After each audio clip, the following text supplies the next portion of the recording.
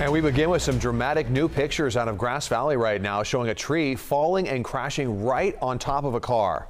That driver appeared to be okay, but it's another warning on just how dangerous the roads are in some areas right now. We want to show you this a live look tonight in Grass Valley. We're tracking snowfall causing those major issues tonight. Officials are warning people to stay off the roads due to whiteout conditions and road closures. Let's show you a look at the roadways right now with images from Caltrans on Highway 50. That's in Twin Bridges and that's Interstate 80 in Castle Peak. 80 has been shut down since later this or late this morning and Highway 50 is shut down from Pollock Pines to Meyers for avalanche control. And you can see those plows moving through that part. And we wanted to show you this. We're tracking power outages as well with more than 50,000 customers without power at this point across the state. In our area, more than 8,000 customers are without power in Nevada County and more than 3,600 are in the dark tonight in Placer County. We've seen dozens of schools across the region announce they will be closed for at least tomorrow due to the snow. And for that, we'll be running a ticker at the bottom of your screen, screen throughout the newscast and on all those school closures, and we'll update it as, as, as, those closures as they come in. We have live team coverage of the snow in the Sierra right now with crews in both Nevada and El Dorado counties, but we start with KCRA 3's chief meteorologist Mark Finan with where the snow is coming down right now. Yeah, you know, in the Sierra today, it's either been snowing heavily or snowing moderately. We're down to more the moderate category. There's some of the lower elevations where it's hardly snowing at all, but it's really interesting how the snow continues in the Sierra, even though the valley is dry dry. Uh, we did have some thunderstorms go through the valley in the late afternoon, but shortly after the sun went down, the valley has been dry other than a sprinkle or two. But you can just see how the snow seems to form at elevations above about 2,500 feet and still getting some light snow in parts of Lake County. Let me show you what's happening in Tuolumne County and parts of Calaveras County here along Highway 4 Arnold at about 3,800 to 4,000 feet. It's just snowing and snowing and snowing. And a little bit farther to the south in Twain Harte, it's the same thing feet of snow piling up there. The snow a little bit more hit and miss into parts of western El Dorado County, but once you get up the hill toward Pollock Pines and farther up the hill toward Kyburz, it's really snowing. But as you can see right now in Placerville, we've had some snow during the day but right now everything is pretty quiet. And then farther to the north, yeah, Interstate 80, it has been closed since 10 o'clock this morning. Highway 20 is also closed from Nevada City to Interstate 80, and those roads are likely to be closed all day tomorrow, too. Back to you. All right, Mark, thank you. And back to the impact of all that snow. Thousands are without power in Placer and Nevada County right now. And KCRA 3's Melanie Wingo is live now in Grass Valley where we've seen those issues on the roads there, Melanie. So what are you seeing right now? Well, it is clear at the moment, but around 6:30 tonight, we really saw the snow pick up and start to stick along the roadways. State Route 49 was getting slicked over with a nice layer of snow, and then since that time, snowplows have come and uh, cleared that path. But it's been off and on for the past 24 hours or so, and that's where we're really seeing all of this snow around these main roads piling up. As I mentioned, this is State Route 49, Brunswick Road off of that, that leads into some shopping centers here. We have seen plows working to clear the snow from these main drags here in town as we expect cooler temperatures overnight and more snow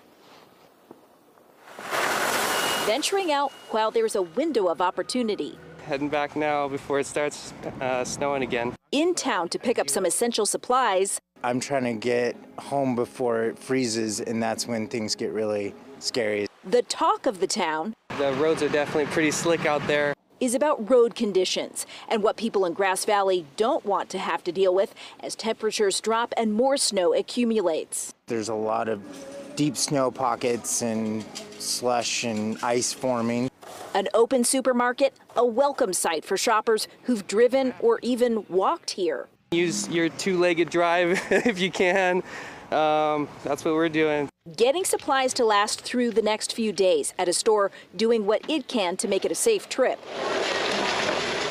Constantly shoveling it and um, salting it down so that um, anyone that dares to make the trip in can make it in safely. People from the area telling us the snow doesn't usually get this bad in their foothills community. I have to go all the way back to when I was 10 years old, and uh, it was waist high for me. But then again, there was last year. Last year we had snow apocalypse. Everyone remembers the day after Christmas storm. We had what we consider to be snowmageddon. Relief that so far this one hasn't brought the same damage. It broke more trees and it was a little bit more of a heavy snow. Or the same headaches. That was a lot worse because the power was going out and people were really stuck. So they're riding out the last few weeks of winter, prepared as much as possible for what may come their way. We're ready now. And according to the Nevada County website, you should know that tomorrow, February 28th, all western and eastern Nevada County facilities will be closed because of this winter storm. County roads, wastewater, and the Sheriff's Patrol services will continue as usual. But again, the county says that Many of those county facilities are going to be closed because of this winter storm. So that is just one of the main impacts that the storm has had. When it closes down county buildings on a normal workday, you know it's a pretty severe storm. Reporting live in Nevada County tonight, Melanie Wingo, KCRA 3 News. Melanie, thank you so much for the update. And now we want to get to the closures along Highway 50. KCRA 3's Orko Manna is live now in Pollock Pine. So, Orko, I know you've been out there throughout the day. What's it looking like tonight? Well, Andrea, the snow doesn't seem to be falling much right now, but we've definitely felt the winds pick up. In fact, the wind picking up some of the snow on the ground and hitting us in the face. But there is a lot of snow still on the ground. You can see that here. That's why Caltrans crews are still blocking Highway 50 here in Pollock Pines all the way to Meyers. Because of those conditions, you can see this crew here with those cones and those signs. Meanwhile, drivers are wondering when they will be able to get through. For drivers heading up Highway 50, it's hard to miss the heavy snow and strong winds. Those conditions have led to low visibility. Chains were required for much of the day Monday and Caltrans crews eventually had to block Highway 50 east of Pollock Pines and west of Meyers because of multiple spinouts and near whiteout conditions. One by one, travelers are being turned away. Many of them are praying they can get to their destinations. I'm waiting for a magic, you know. I hope I'll get to to Tahoe. If nothing changed, I'll go home. Trying to walk or ski your way through? That won't work either. Several drivers are parked right by the Highway 50 on ramp. Gotta do what you gotta do. So here's my dinner a little chicken Caesar salad. And some are eating food to pass the time. But locals say this is a traffic nightmare. Just people coming up from Sacramento area or San Francisco trying to get up to Tahoe. It's making it horrible for us. So uh, I'm just gonna say, you guys just stay home. Don't come up here, please. Plows remove snow from the parking lot of the Pollock Pine Safeway, and residents are wiping off their cars too. I'm used to it.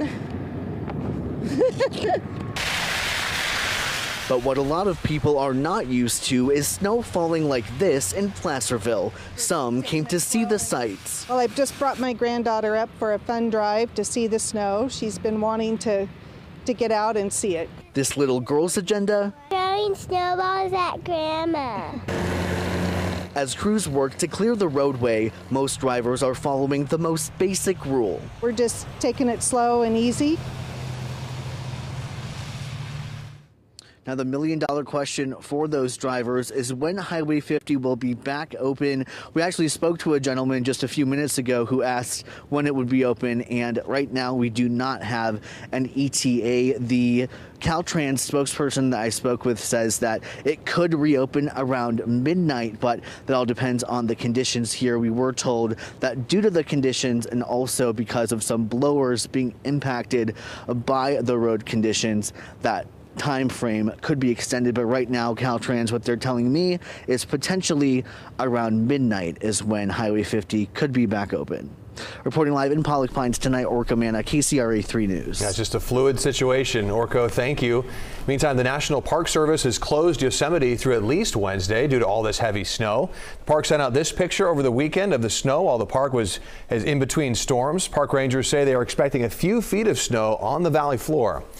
Nevada, a similar similar conditions there. Fire officials in Washoe Valley say more than 36 vehicles crashed on the icy roads. This is on Interstate 580. And like agencies across the Sierra, they say visibility is low and the roads are treacherous. So slow down or do not go out at all. And that's emphasized here with this tweet from Mono Sheriff's Office. Quote, the roads are closed, all of them. There is no alternate route back way or secret route. It's a blizzard, people. You cannot see your hand in front of your face, let alone a snow stake to guide your way. Stay home. That's the message from them tonight. And this came after Caltrans warned about whiteout conditions in the eastern Sierra near Bridgeport, closing down Highway 395.